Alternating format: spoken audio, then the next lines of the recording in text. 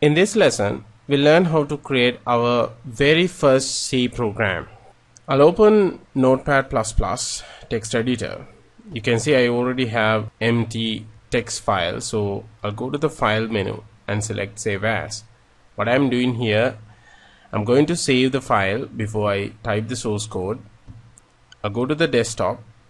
I have a folder called C. Inside that folder, I have another folder called ch1 so I'll open that folder.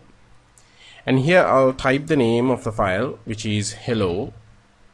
And the file extension or the file type should be .c now it is very important you should type the file extension as .c here. And then you can click the save button to save the file. And you can see immediately the file is saved. Before type the source code I'll go to the settings of the Notepad++ application and select Style Configurator. Now in this dialog box you can change the look and feel of the application. Now I'll change the font here to something that I would like to have that is uh, yeah consolas. We'll have consolas. And the font type is consolas and uh, the font size can be little bit bigger. So it will be clear when we type. Actually we need to change it to the global settings. So make sure these settings enable global font and global font size. Make sure these checkboxes are selected. And click save. Now you have bigger fonts. Okay. So now what we need to do we type the source code. First of all I'll type hash include and then open angle bracket stdio dot h close angle bracket. Now this is known as preprocessor directive. I'll explain what is preprocessor directive statement later in this chapter. So I'll go to the next line and type int main open bracket and void open curly brace. And then you can type print f open parenthesis double quote hello comma programmer. Close double quote close parenthesis semicolon press enter and closing curly brace. Before the closing curly brace you need to add another statement that is return statement return 0 and now I'm going to save the file and then I open command prompt. Now I use the command prompt to compile the file. First of all I need to go to the desktop where cd desktop.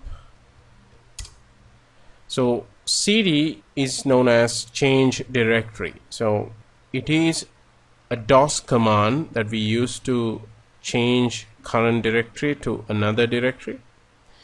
And then I have uh, another cd c and ch1 so I'm inside the folder where I have saved. Now if I use the dir command you can see the files inside that ch1 folder which is hello.c we have only one file there.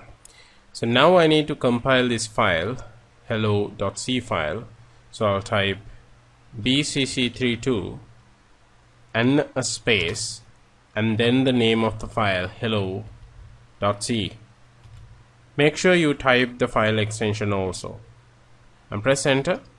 And you would see the command prompt output and it shows that the Borland compiler is activated and it has compiled. So if there are any errors it will show the error but in this case you can see we don't have any errors so the file is compiled properly. Now let's see what are the files we have inside that folder. So I'll type dir command. You can see you have several files before we had only one file that was a hello.c file. Now we have three more files .exe file .obj file and .tds file. So these files these three files were created by the Borland compiler. So now you can run and execute the executable file which is the exe file. So I'll just type hello you don't need to type e.exe because it is an executable file. So just type the name of the file and press enter so you can see the file is executed and it shows the output as hello programmer. Now let's try to understand this source code. We'll take a look at the first line. First line is hash include space open angle bracket and stdio.h close angle bracket now this statement is known as pre-processing directive statement now what is pre-processing directive statement? Now this line is very essential in the source code that we type. Actually without this line the program will not work.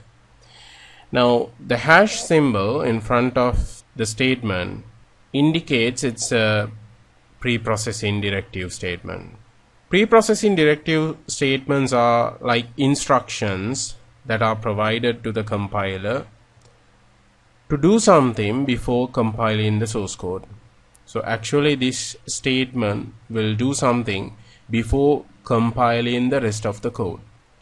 Usually what the compiler does, uh, it will handles these uh, directives uh, during the initial process of the compilation and after the pre-processing uh, state it will continue to the compilation process of the rest of the code.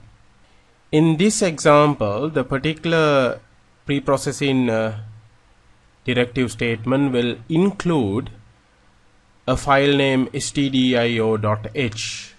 This is actually a header file. The name header file is given because uh, usually these header files are placed at the beginning or the head of the source code. Now inside the stdio.header file there are some useful functions that are provided to the application we created